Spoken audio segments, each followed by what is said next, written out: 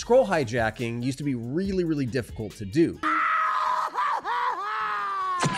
But now with Framer, you can do an interaction like this one with just a couple of clicks. Here you can see that I have my three sections stacked on top of each other. Delete that. You just need one with components and variants inside of it. Now that I've done that, I'm gonna take the entire section and set the position to sticky. Make sure that when you're setting position to sticky inside of Framer, you set the parent containers to be overflow set to visible. From there, we're gonna create a couple of frames down below and give them a scroll section ID.